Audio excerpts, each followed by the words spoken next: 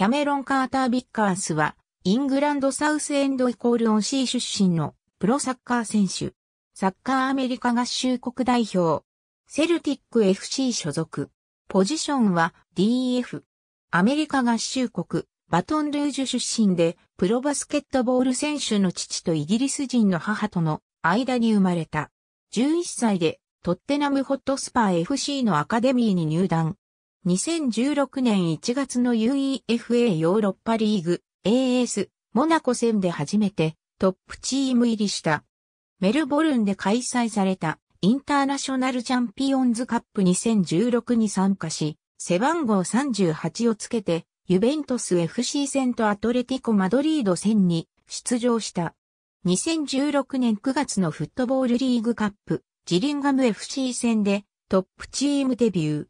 2017年8月、チャンピオンシップのシェフィールドユナイテッド FC に1、シーズンレンタル移籍することが発表された。2021年8月31日、買取オプション付きの1年ローンで、セルティック FC に加入。トッテナムのアカデミーに在籍していた2014年夏、フロリダで開催された U-17 アメリカ合衆国代表との親善試合で関係者の目に留まり、市民権も持つアメリカ合衆国代表入りの可能性が浮上した。2014年8月、U-18 アメリカ合衆国代表に招集された。2015年5月には若干17歳ながら飛び級で 2015FIFA U-20 ワールドカップに参加した。